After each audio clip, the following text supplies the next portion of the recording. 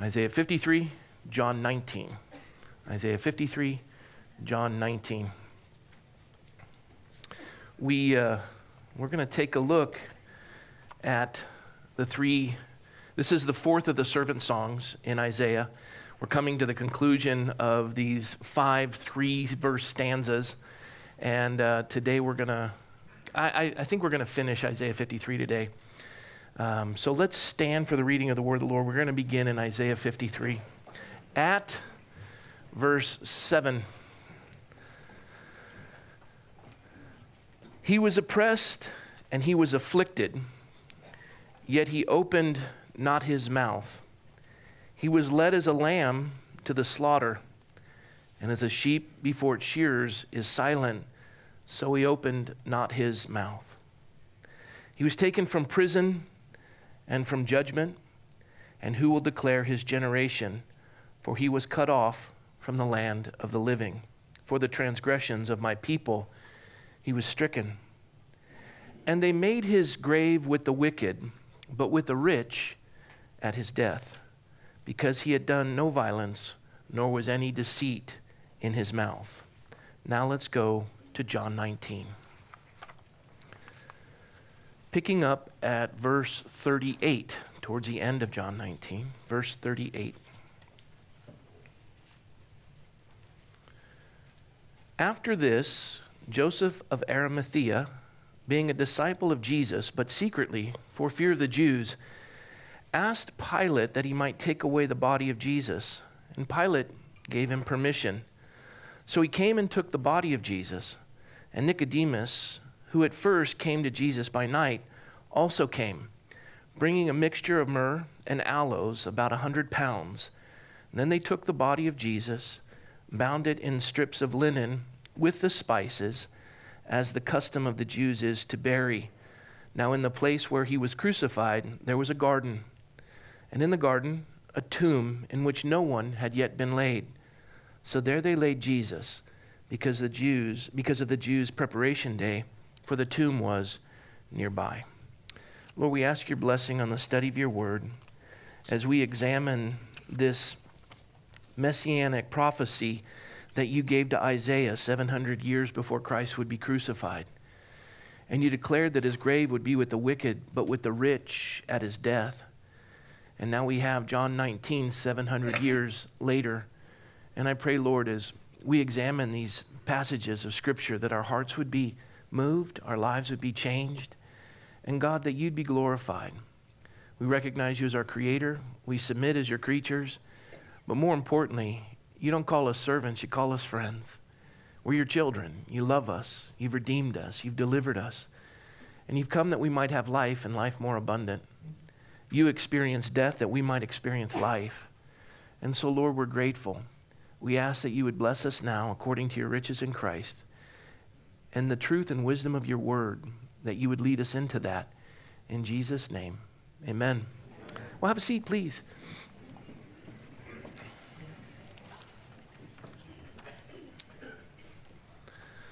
So we're looking at this fourth stanza of three verses, and there's a fifth stanza. And the stanzas of this fourth servant song begins back in Isaiah 52 at the very end. It says, Behold, my servant shall deal prudently, he shall be exalted and extolled, and be very high. And just as many were astonished at you, so his visage, his face, was marred more than any man, and his form more than the sons of men. So shall he sprinkle many nations. Kings shall shut their mouths at him. For what had not been told them, they shall see, and what they had not heard, they shall consider. Who has believed our report, and to whom has the arm of the Lord been revealed? He shall grow up before him as a tender plant and as a root out of dry ground. He has no form or comeliness, and when we see him, there is no beauty that we should desire him. He is despised and rejected by men, a man of sorrows, acquainted with grief and we hid, as it were, our faces from him. He was despised, and we esteemed him not. Surely he has borne our griefs and carried our sorrows, yet we esteemed him stricken, smitten by God, and afflicted. But he was wounded for our transgressions, he was bruised for our iniquities, and the chastisement of our peace was upon him. And by his stripes we are healed. All we, like sheep, have gone astray. We have turned every one to his own way, and the Lord has laid on him the iniquity of us all. He was oppressed and he was afflicted, yet he opened not his mouth. He was led as a lamb to the slaughter, and as a sheep before its shears is silent, so he opened not his mouth. He was taken from prison and from judgment. Who will declare his generation? He was cut off from the land of the living. For the transgressions of my people he was stricken. And they made his grave with the wicked, but with the rich at his death. Because he had done no violence, nor was any deceit in his mouth. Yet it pleased the Lord to bruise him.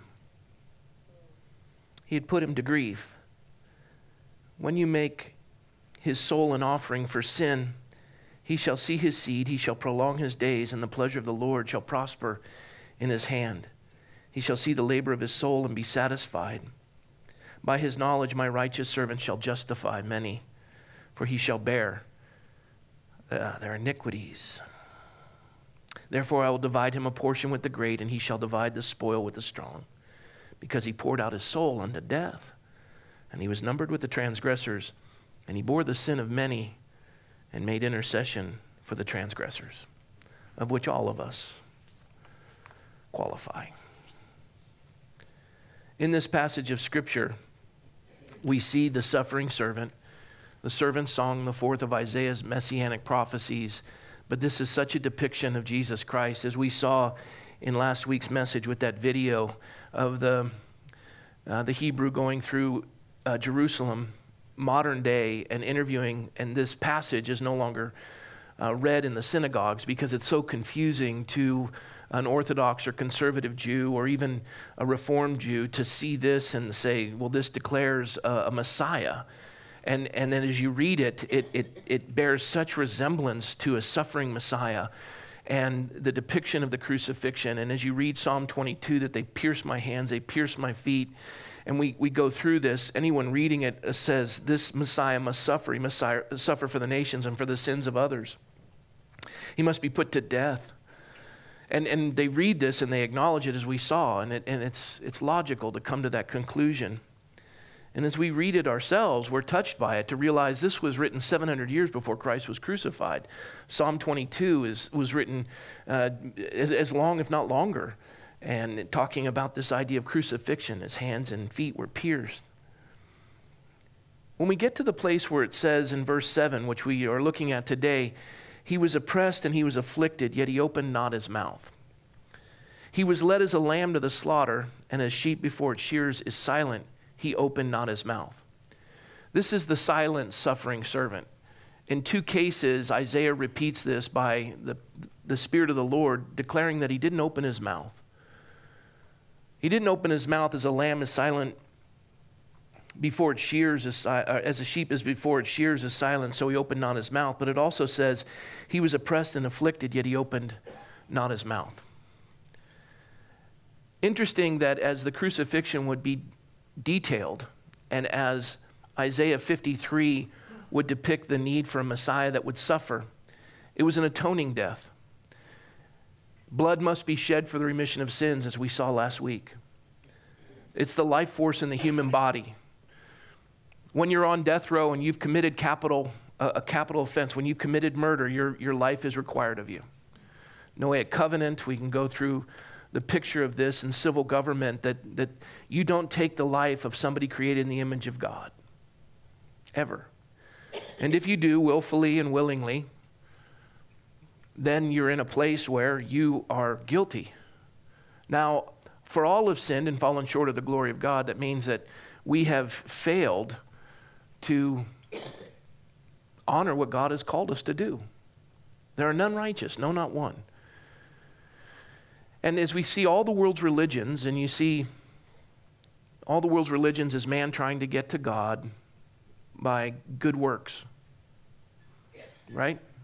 Don't drink, smoke, or chew, or hang around with those who do. Christianity is not man trying to get to God by good works. Christianity is God coming to man and, and, and bridging that gap through justification We've been justified because the price of our sin, the penalty of our sin, has been paid. It's been paid. And, and as this is the case, that the bridge has been made between sinful man and a holy God, it's Christianity. Here's, here's the bullseye, here's the arrow, and where the arrow is fallen, that's called the sin distance, how far we've fallen from perfection. Christ, uh, the world's religions, we're always trying to hit the bullseye and we never can. Christianity is God moves the bullseye to where the arrow is. I mean, that's pretty cool. And, and we don't earn it, He gives it to us. And we don't do good works to be saved. We do, do good works because we are saved. It's not out of obligation, but out of adoration. You did that for me, I give you my life. You gave me your life, I give you mine. You love me this much, I love you this much. I want to be crucified with Christ, that I die to myself and live to you. And this is, this is the secret and the, and the power of Christianity that it's not an obligation, it's adoration. We don't try to serve a capricious God who is waiting to drop the other boot on us. He's merciful, patient, long suffering, wanting that none would perish, but that all would be saved. But that comes at a price. Our sin is vile, it's awful. We saw the blood and we saw the misery of the sacrificial system. And I don't know if you read this week, but they've come up with a, a red heifer, the first time one born in Jerusalem and, or Israel in the longest of times. And those who have a pre trib, pre millennial eschatology are thinking, oh, the Lord's coming back. And they found the red heifer and they can set up the temple system and they can finally sacrifice to reestablish it. And I'm reading that, it's, it's kind of intense. Where were we? But regardless of our eschatology, one thing I do know is that there is no bull or lamb or any blood sacrifice that will suffice for my sins, save but a holy man who was without sin who could die in my place. And there's only one that's ever fulfilled that, and that's Christ. But to pay the penalty for my sin would be horrific. And, and, and the Bible, you know, I think of the Apostle Paul, who began his ministry by saying, I'm a sinner. And the very last epistle, the very last letter he ever wrote was 2 Timothy, and he said, I am the chief of sinners. I look at something like that and I think to myself, I think he would have improved. Yes? In me, Paul would write, in me, that is, in my flesh, dwells no good thing. He wrote that the holy apostle Paul, Saint Paul.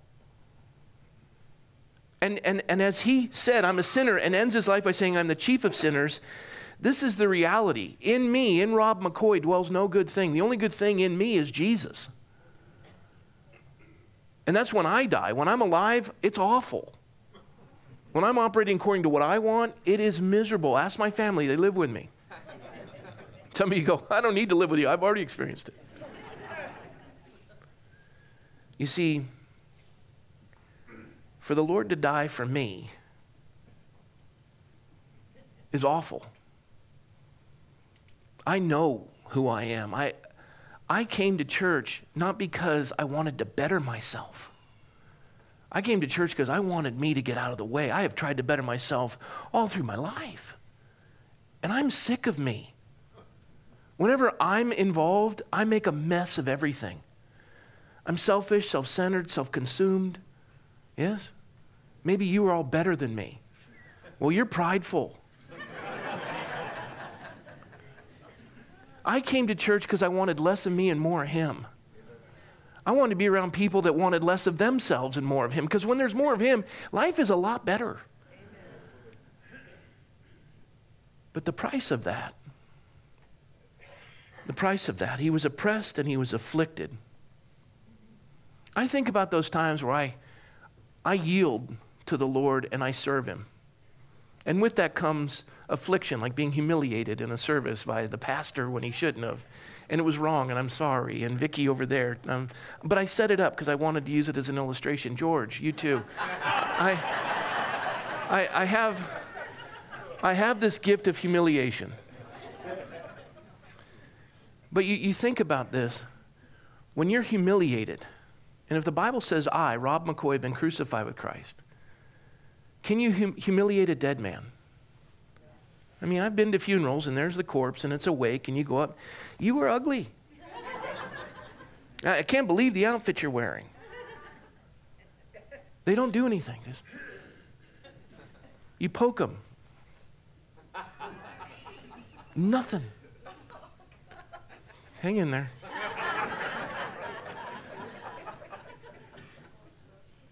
The idea is Christ said in the Gospels, No man takes my life.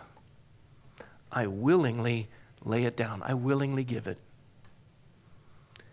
And as he willingly gave it, he went before Pontius Pilate, he went before the Sanhedrin, he went before every ruler, every leader that was responsible for the judgment.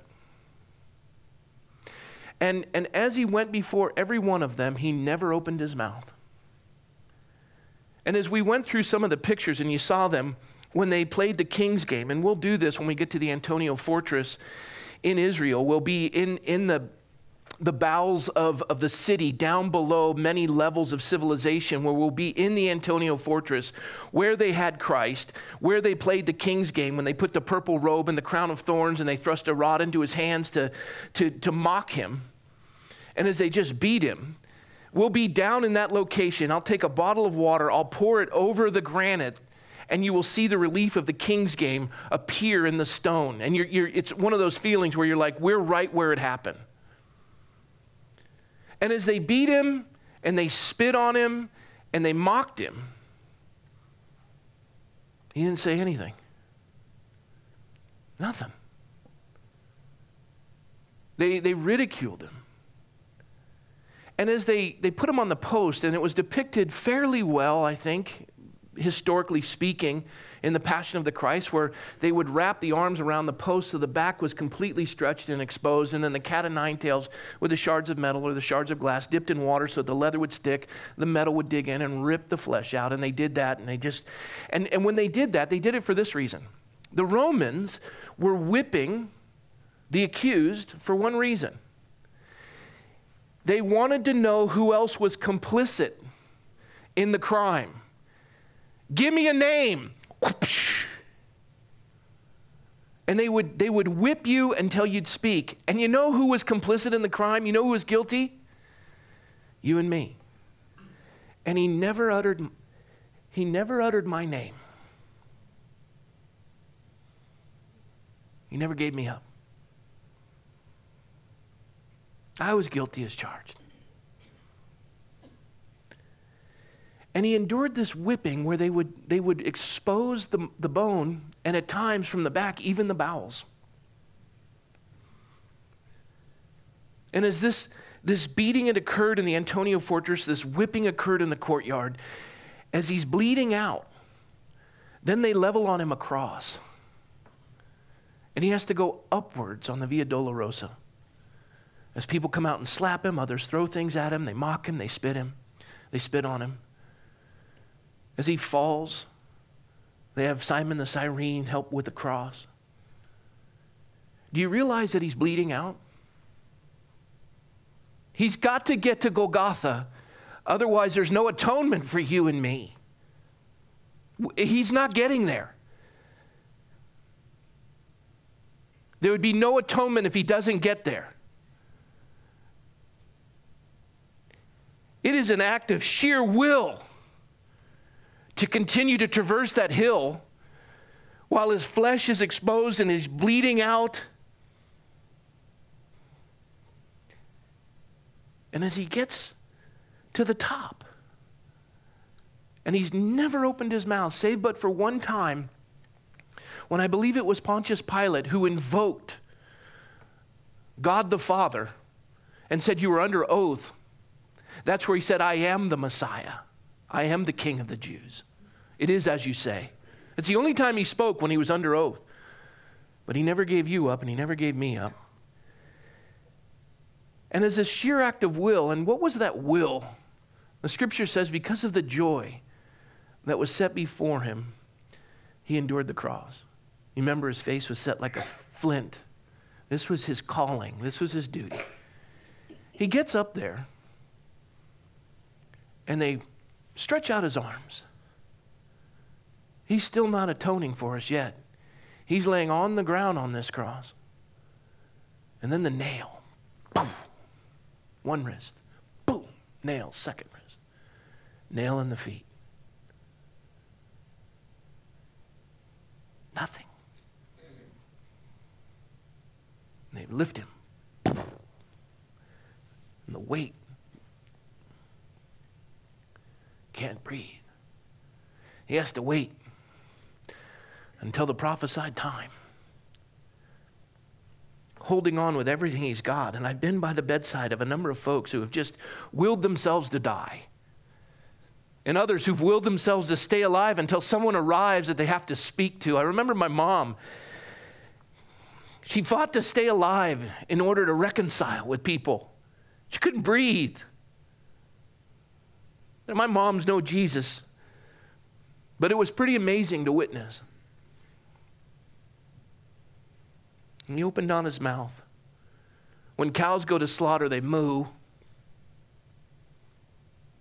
When these animals are led to slaughter, when pigs, they squeal, but not lamb, not sheep. Even when they bring the knife to the jugular of the, of the lamb or the sheep, they say nothing. People say they're stupid. Well, it's fascinating to me that the Lord would pick them to describe himself. He opened not his mouth. He never gave you up. He never gave me up. He was taken from prison and judgment. Who will declare his generation? He was cut off from the land of the living, which just simply means he never had children. He was it. That bloodline is finished. And why? For the transgression of my people, he was stricken. He was paying atonement. His blood was covering our sins, it was washing us. But the part I want to look at, as overwhelming as what we've already seen is, is the picture that they had made his grave with the wicked, but with the rich at his death. And the reason why is because he had done no violence and there was no deceit in his mouth. Whenever he opened his mouth, it was always true. Some of you will disqualify me as a pastor, but I, I had my 16 year old son watch a show called Liar, Liar with Jim Carrey, and there's some very bad parts. But the concept of not being able to lie, could you imagine what that would do for our world?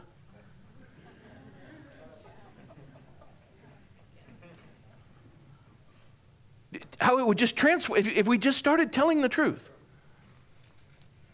Even our facial expressions. I'm telling the truth. Well, can you can you let your face know?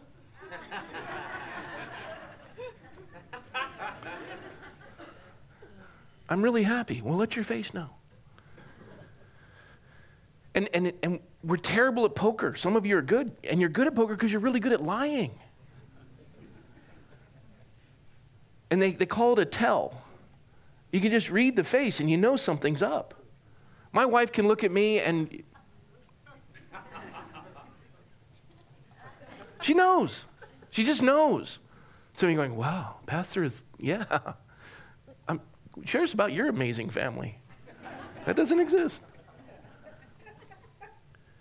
Imagine if the world didn't lie. You just, you just knew the person you were talking to was telling you the truth. That's what we find in the church. Any, any pastor that counsels, the hardest thing to do is get to the truth. You have two people that are arguing with each other, and you listen to their story, you listen to their story. They both sound like they're both correct, and you just keep pushing it and writing it and going further and just going to the thread and finding where it is, and, and usually it unravels. But some people are so good because they've lived their whole life in deceit.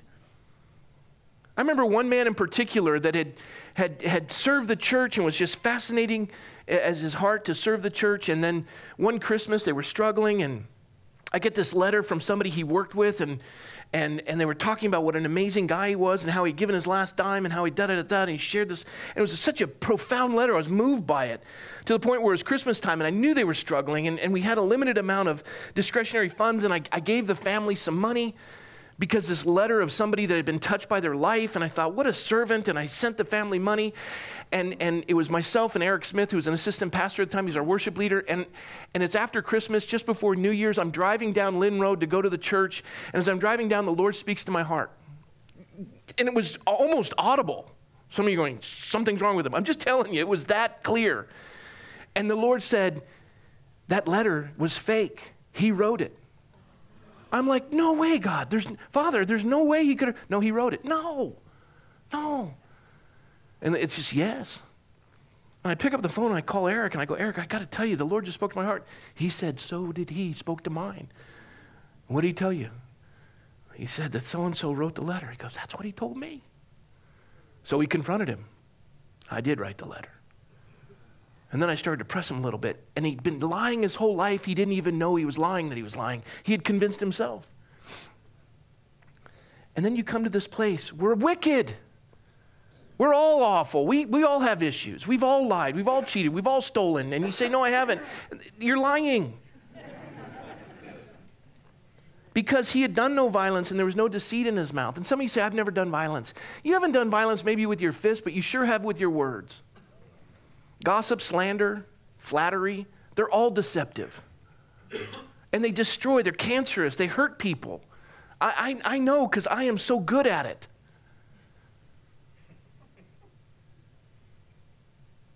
And so are you. All we like sheep have gone astray, but not the Lord. Fascinating to me that they made his grave with the wicked, but with the rich at his death. When you do a funeral, people want the room to be full. And, and I've shared this many times Ecclesiastes 7 1 a good name is like a precious fragrance, better is the day of a man's death than the day of his birth. You're given a name when you're born, and we only know at the end of your life whether it's a fragrance or a stench. Nobody's naming their children Ted Bundy or Adolf Hitler. Or maybe somebody's named Jezebel, but you really have to talk to your parents. right? These are names that, that through history we've kind of just said, that's probably not good, right? But we think of other names that are a fragrance. They just bring pleasant recollection. And that's why that, that's why Solomon was so wise as he used synesthesia. He combined two senses to bring across a, a, word picture. He said a good name is like a precious fragrance. So, so you have the sense of smell, the olfactory sense, which is a number one sense of memory recollection, tied to a name, so that when people come to a funeral and I see the room packed, they're drawn by one thing the name. And that name has been a fragrance to their life because they've been the fragrance of Christ. They, as it says in Corinthians, we are the fragrance of Christ. To some, the aroma of death. To others, the aroma of life. They're drawn by the way we've served humanity and they come in droves. And I've done funerals where nobody's in the room. And I've done funerals where it's standing room only. And, and we've contributed to society and we've helped and we've done, but we all know that at the end of the day, when we look in that mirror, we know who we are. We've tried to deceive ourselves, and we can purchase people to come because they're waiting for the will to be read, and we can, we can get a room filled with people if we've got that kind of money. And I think of the story of the two brothers that were vile and evil, and the entire town hated them, and they were the richest, and they had cheated everybody and stole from everybody. And, and one of the brothers dies, and he goes to the priest, and he says, I'm going to give you know, a million dollars to build the church, but the one thing before I give that money is you have to promise me that you're going to call my brother a saint. And the priest says, He is anything but a saint. He's hurt everybody in this town. Okay, then you won't get a million. The priest says, Well, what's a million bucks? All right, I'll do it. He says, You will. He says, You have my word. And he writes the check and he hands it to him. The priest gets up and he begins by saying, Of the living brother, he points to him. He says, This man here is the biggest thief in the town. And the man looks at him like, What are you? And he goes through this whole thing. He says he's cheated everyone, he's lied, he's hurt folks, he's, he's, he's awful. But compared to his brother, he's a saint. and he cashed the check.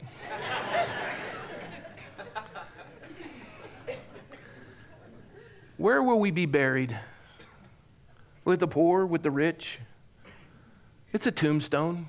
It's like a flower of the field here today, gone tomorrow. Who will come to our, our funeral? We're not going to be there to really know. But how will we be remembered? Is our name a fragrance or a stench? But the part that amazes me is what we read in John 19.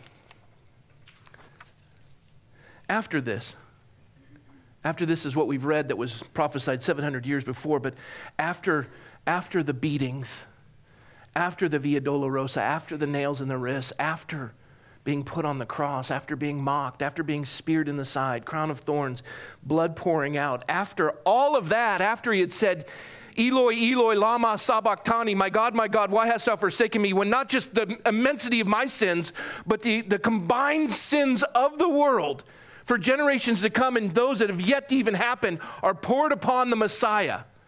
And the Father is, is, is separated. And he's left with all of this. And the only words he utters at the cross is Eloi, Eloi, Lama Sabachthani. My God, my God, why hast thou forsaken me? And then he finishes with three Greek words, one in the English, tetelestai. Excuse me, three in the English, one in the Greek, tetelestai. It's what happens when you pay the mortgage. They said paid in full. And you get that last sheet and you dance. And when Jesus said tetelestai, he said, It is finished. The atonement has been made.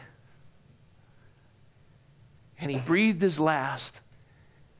And out of sheer will that was holding on, as we had shredded him, marred him more than any man, he breathed his last and he paid the price. And there his corpse, shredded and beaten, abused and marred by evil hands, jackals starting to surround, and we think the cross was high up. It wasn't high, it was low enough that they would typically eat the legs. Nicodemus, who had come to Jesus at night, was one of the Sanhedrin. Joseph of Arimathea was not only one of the Sanhedrin, but he was the third wealthiest man in all of Jerusalem, all of Israel. It was said that his daughter's wedding was the most lavish wedding they'd ever witnessed as we read Jewish history. This man had money lots of it. But he contended with the Sanhedrin that this is unacceptable. He contended, saying, This is a righteous man. He, he did not agree with the findings. Nicodemus came at night and he said, We know that you are a prophet sent from God. He had the conversation about being born again, where we had the verse, John 3:16, for God so loved the world that he gave his only begotten Son, that whosoever believeth in him should, or whomever believeth in him should not perish but have everlasting life. Nicodemus heard these. He was moved by that to the point where he wouldn't come to Jesus at night. It says here that he came during the day. And he's quoted in John. But Joseph of Arimathea, the rich man that is declared in the passage of scripture that we read in verse 9 that he would be buried with the rich, it was this man, Joseph of Arimathea, four times in the Gospels, all four Gospels have an account of this fellow named Joseph of Arimathea being a disciple of Jesus but secretly, for fear of the Jews, asked Pilate that he might take away the body of Jesus, and Pilate gave him permission. He went to Pilate, he said, I want his body. You know what that means? It means that he's going to be unclean and he'll miss the Passover, the high holiday of the Jewish festival. He will be unclean because he's touched a dirt, uh, uh, uh, an unclean body, a corpse. And he goes and he there's different accounts, but they say that he wrapped his arms in linens while they lovingly pulled the nails out and they could lower him. This is the, the garden tomb. It's called, um, oh, something Calvary. What, what's the, the, the officer's name? Gordon's Calvary. This is called Gordon's Calvary. It's, it's different than the site of the Holy Sepulchre. This is where we take communion the last day in Israel. We're going to go from May 1st to the 10th this, this coming year. And we go to Gordon's Calvary, and it's one of the most beautiful places in all of Israel. And you see a, a place that would, would seem to be Mount Golgotha, place of the skull. And you see this as a rich man's area. You, you see that they have not only a well, but a cistern. They've got uh, uh, a place to, to, to grind the olives and to, to grind the, the grapes. It, it, it's, it's a beautiful, beautiful, wealthy man's home. And there is this massive stone that they found, and here's a rich man's tomb. Two parts of the tomb have not been completed. One was for a child, the other was for uh, another adult. Those had not been hewn, and they were done by hand. They didn't have pneumatic tools. This was paid for by a wealthy man, and as you go in, it is very apparent that there is only one area for burial, and they believe this to be where Christ was buried. This is a tomb of the Holy Sepulchre, which is argued over by uh, a multitude of denominations, including the Armenian Orthodox Church, uh, the Catholic Church, the Russian Orthodox Church. And they, they argue back and forth. For example, that's the entrance in the lower left, but up here, as you can see, it's circled above and over to the right, is this ladder that's been there for 300 years. Because all of these denominations can't agree on who's going to move the ladder. One person tried to remove it in the 90s and they were arrested and it was put back. They, they can't even argue who gets to open the door, so they have a Muslim open the door to the tomb of the Holy Sepulchre. Here's the ladder. That, that's during photographic times. And that's not a modern picture. This is the tomb of the Holy Sepulchre, and it's just, it's awash in incense and, and people kissing floors, and it's, it's just, it's, it's kind of, it's, it's anything but peaceful. It's, it's kind of chaotic. And I don't say that to dis, dismiss um, my Catholic brothers and sisters or my Armenian Orthodox brothers and sisters or Russian Orthodox. I say that because it just, for me, doesn't work. And Gordon's Calvary, I can't prove that that's the location, but what I can say is the Lord was buried and it was Joseph of Arimathea who asked for his body. And to ask for his body from Pilate was very dangerous because all of a sudden, all the Sanhedrin know he's aligned with Jesus, the Galilean. You see, Joseph of Arimathea being a disciple of Jesus. You see that? He's a disciple of Jesus. He was secretly for fear of the Jews, but now he's public. He's public and he puts his life on the line. He went to Pilate. He said, Give me permission. This man had money. I imagine Pilate said, What are you doing? You're, you're, you're going to ruin your business.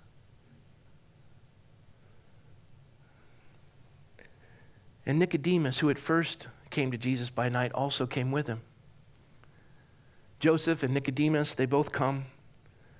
And they bring a mixture of myrrh and aloes and a hundred pounds, and then they took the body of Jesus and bound it in strips of linen with spices, as the custom of the Jews is to bury. It also says in the other gospel accounts, real simply, that they washed the body. They take the body down. This is, um, this is what it means to wash the body. And I want to share this with you. It's uh, this idea of a takrahim. It's, it's the Jewish burial.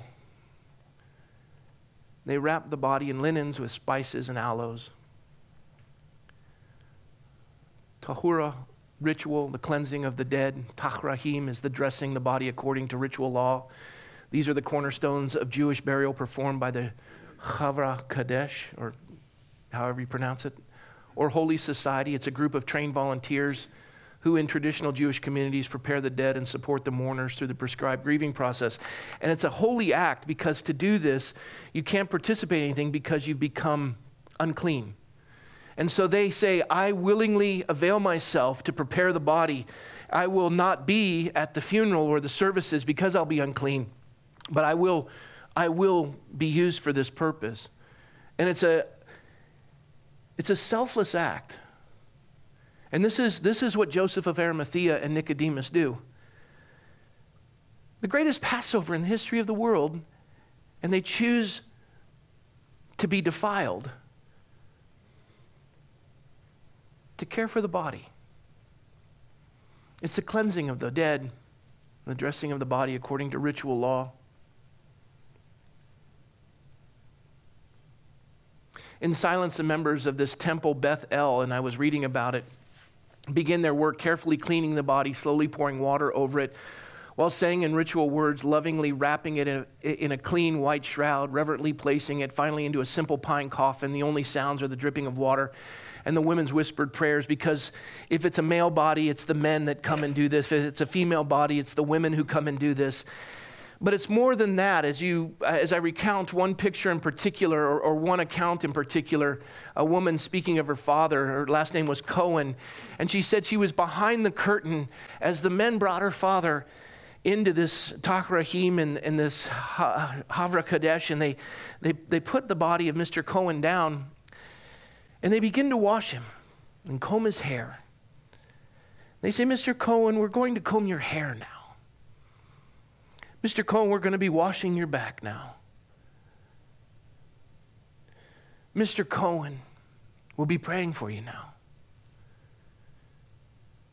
Imagine Nicodemus and Joseph of Arimathea. Jesus, we're going to be cleaning your wounds now. As they were taking the dirt out of his gashes in his head. Jesus, we're going to be cleaning your side now. We're going to be cleaning your hands, your feet. Jesus, we're going to be caring for your face as they have just pulled your beard out. And as they're cleaning the wounds in his hand, the scriptures that they all knew is Sanhedrin. Psalm 22, my hands have pierced, my feet they've pierced. Isaiah 53, my beard they pulled from my face. As they do this cleansing, they, they say, Jesus, we're going to roll you over now. What they saw. We're, we're going to clean these wounds tenderly and lovingly as they place aloes and oils.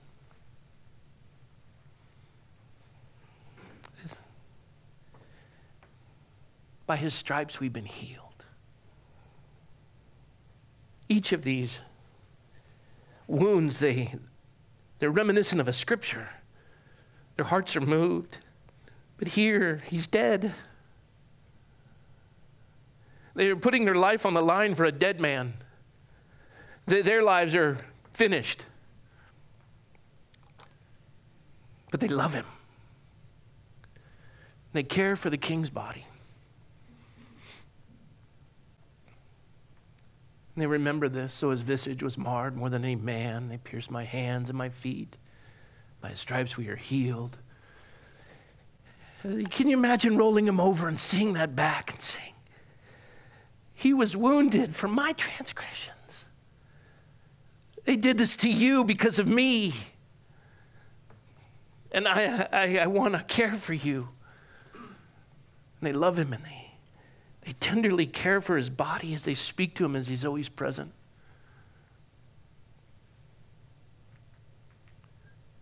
It's said of, of Joseph of Arimathea, covered by, I think it's Josephus, who said, the most extravagant wedding of the wealthiest or one of the wealthiest men in all of Israel. His daughter was found picking barley out of horse stables because they were so impoverished. Their family lost everything after this.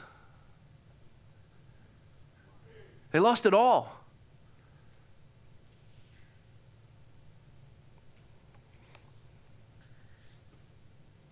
It was Gamaliel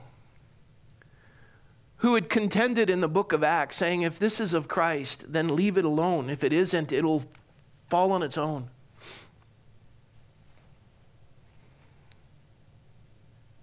Gamaliel was best friends with Joseph of Arimathea. And it said that when he lost everything, when Joseph lost everything, Gamaliel brought him into his home.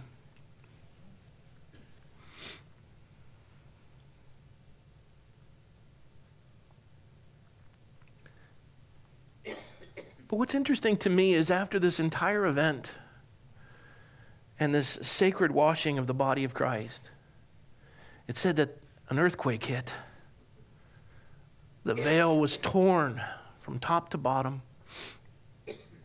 The dead rose. The light was shining. It was just intense. We don't know if it's because Jesus went up or the angel came down, but it, it was unbelievable. And the, the tomb was empty. And witnessing the resurrected body, can you imagine what Joseph felt? Can you imagine what Nicodemus felt when they realized those are the hands I washed? That's the back I cleansed. That's the head that I cared for. This, was, this, this is what I had given my life to. I'll tell you what, that Resurrection Sunday meant more to him than anyone else in the room. He was so moved that not only did he lose everything, but church tradition goes on to say that he's the one who became Joseph of Glastonbury. What is this? It's a church in England. He became the Bishop of England. He brought Christianity where most of us are probably of that descent.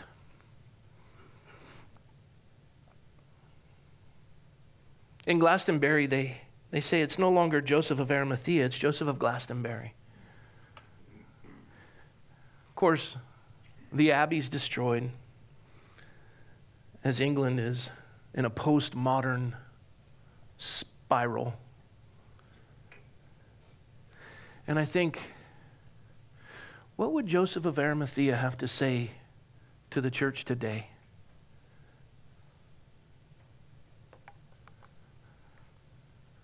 You were a rich man. How do we make money in the church? You were a successful religious leader who was the third wealthiest in all of Israel. How do we, how do, we do a, a, a growth program, a tithe program? How do we generate wealth in the body of Christ? He would look at them and he'd say, Stop it. No. No. Let me tell you about his wounds. Let me tell you about the love. Let me tell you about the eyes that I looked into the face that was radiant, the, the life that was redeemed, mine because of him.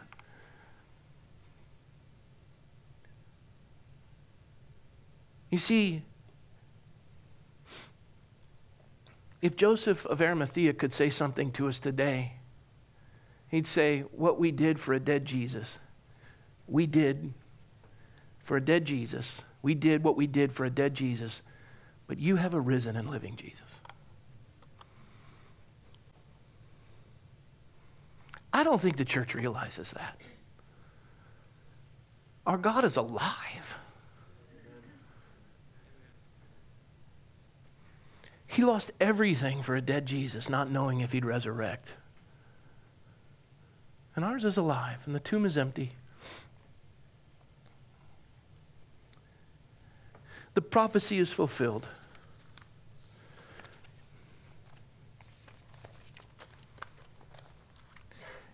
And I tire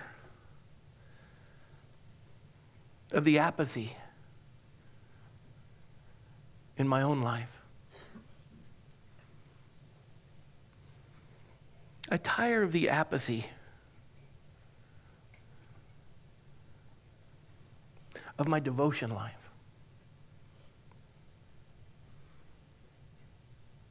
I tire of the constant presence of Christ not present in areas that he needs to be. That's inventory of my life. How about yours? He's alive. Would you put it all on the line for a living God like Joseph did for a dead Jesus? Is there, is there tenderness and love that you would care for a lifeless body? knowing you'd lose everything when we have the ability to lay our life down for a living God? What is it that's so much more precious in this passing world that we wouldn't want anything to get in the way of the world seeing this resurrected Savior? Verse 9 pierces my heart. He wasn't buried with a rich man because he was rich. He was buried with a rich, in a rich man's tomb because a rich man became poor. That's why. A rich man became poor and gave up that which he couldn't keep to gain that which he could never lose. We have a good God and amazing brothers and sisters who have set the standard before us so we don't have to be afraid anymore. I am so moved by Isaiah 53. I pray that the life of Joseph of Arimathea and Nicodemus, what they were willing to do, and they did what they did for a dead Jesus, we all would be moved to do for a living one. And I have to say, I'm inspired by so many of you because I see that selfless heart. You put it all on the line. This is, this is a high and noble calling. There'll be challenges, no doubt. There'll be threats. But what a wonderful privilege. We get to do this. We don't have to, we get to. So, as we prepare to move to this place that God has given us, there's a lot of folks up there that are not wanting you there. And all of us have the get to to go love on them. And we're going to keep our mouths shut when we're insulted. We're not going to be bitter. We're not going to respond when we're reviled.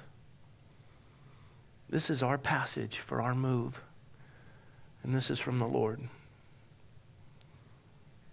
So I pray God blesses us all for this wonderful calling in Jesus' name. Amen? Amen. Let's pray. Lord, thank you for your word. Such a heavy passage, and I struggle revisiting it, but I'm grateful for the comfort we received. You didn't open your mouth. As a lamb is silent to the slaughter, a sheep before its shears is silent, you open not your mouth. But Lord, you made your grave with the wicked, but the rich in your death, because you had no violence. There was no deceit in your mouth. And we're your children, and we, like Joseph of Arimathea, are your disciples. And you're alive. And we want our lives to be for your service. And so, Lord, thank you for the calling that we have as the body of Christ. Lord, I thank you for the men and women who love you and nothing hinders them from serving you. And so, Lord, we praise you this day. Thank you for your word. And Jesus, thank you for your sacrifice that has set us free from the law of sin and death by the Spirit of life in Christ Jesus. We commit our lives to you afresh, and we thank you for the gift of this building for your glory. We don't move in for the sake of comfort, we move in to minister to all you call us to touch. And though we be reviled, we will revile not. And Lord, we won't be insulted or hurt. We're just going to love. And we thank you in Jesus' name. Amen.